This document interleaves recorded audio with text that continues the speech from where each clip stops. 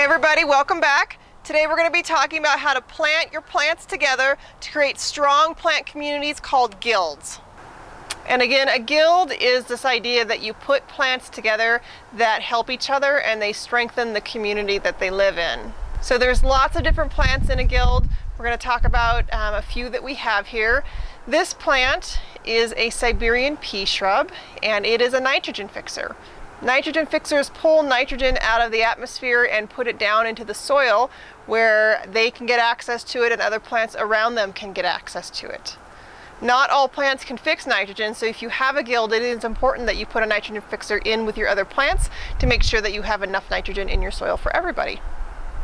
This next plant is both a dynamic accumulator and a beneficial insect attractor. It's called a comfrey, and this is a wonderful, wonderful plant. It's also a medicinal herb.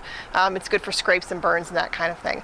So comfrey has a long taproot, goes down into the soil, and it pulls nutrients from way down deep up into its leaves. We practice something called chop and drop with comfrey. So as the plant grows, and they grow enormously over the summer, we chop them back and we take those leaves that we've chopped and we lay them down in other places. And what we've done is we have taken nutrients that was locked way down deep in the soil and we've just added it to the topsoil because we've placed it on the surface. So we practice chop and drop within the guild and if we have extra plants, extra plant material, we will move those to other places that need the extra nutrients.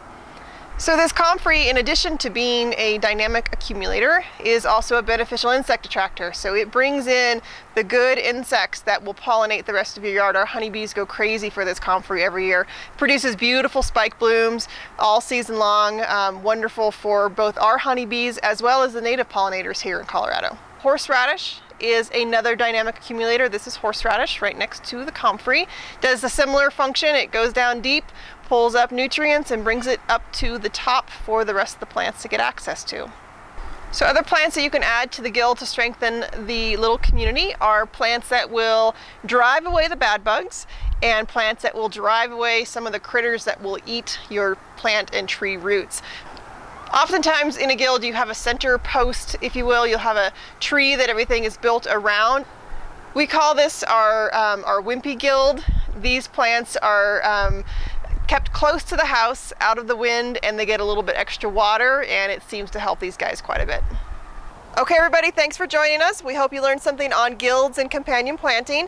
If you have questions or comments, please leave them below. We'll do our best to answer them. If you have information to share, please share it with us. You can put it in the comments or you can send us an email and we'll do our best to share that out with everyone else as well. If you have questions about guilds or companion planting, uh, we suggest you head out to the World Wide Web and do a little snooping there and also come back to our website. We have good information there, books that we recommend, um, designs that we recommend, and we'd be happy happy to share that with you. So www.righttothrive.org and we will see you there. Thanks so much. Bye.